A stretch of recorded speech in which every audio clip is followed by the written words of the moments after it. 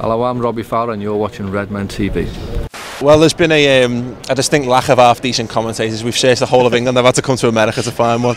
Um, how does the how does the demands of commentate, commenting on um, essentially American networks how does how, how has that changed? Do you have to alter your approach because of the different of the audience? No, not at all. And, and their mantra is to me is to call it how you call it at home.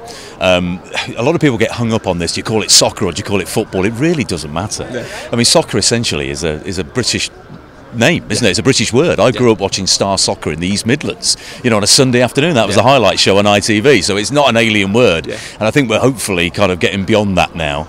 Um, there's a huge, as you can see here, there's a huge audience for it in the United States, and it's growing every year. And teams like Liverpool are getting such a massive fan base here, particularly after the season they had last year, which was absolutely phenomenal. Then the World Cup has taken it to another level. Yeah. Would, uh, how many games, uh, Liverpool games, did you comment on last last year? Probably, oh, probably about ten in the end, ten or twelve, and particularly on the well on the running. I think one of the I will I will never ever forget the Man City game as long as I live. It, the, the, whole uh, the, we've got a way of doing things, which is you lay out and let things breathe a little bit. So we join the action, or the players in the tunnel, yeah.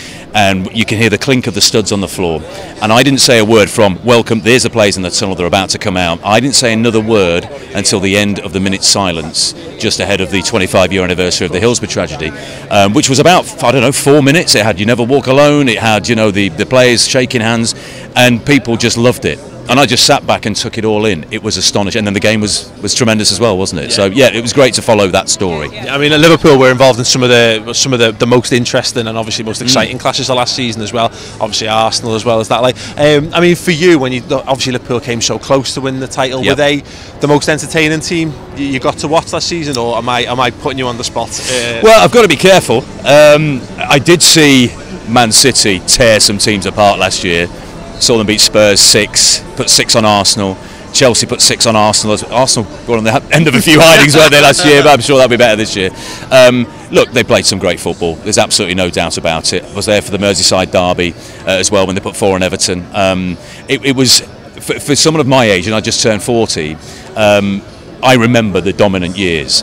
So the lull there's a, there's a, generation who probably don't remember that, and yeah. this was interesting to see Liverpool come back. And I think, as a, as a football fan from England, I grew up with Liverpool being strong, and English football is better off. And I know United fans and Everton fans are going to hate me saying this, but English football is is better for a strong Liverpool. Yeah, and it's obviously going to be better having Leicester back in the uh, the Premier League. Couldn't well. possibly comment. Couldn't possibly comment. Yeah, I'll let, you, I'll let you know a, a, secret a secret thing about Leicester. We always we've got a thing called uh, Ian marshalling someone. So basically, if you ever say some such and such is up front, and, yeah. you, and you say you should never say, haha, they've only got such and such up front because he will come back and Ian Marshall. He will, and, and his back perm will come back to haunt you. Absolutely. Yeah. Absolutely. Yeah. Anyway, thanks thanks very much for Not your time, man. Enjoy your time here. Yeah. And obviously we've seen that uh, you've been playing a little bit of FIFA with Jose Enrique. Has he, has he, has he, has he got the better of you, or are, are you better than him? No, he's just trying. He's just asking me so many times just to give him some, some lessons, you know. So every time I'm free in the afternoon, I just give him some lessons to, to teach him how to play FIFA.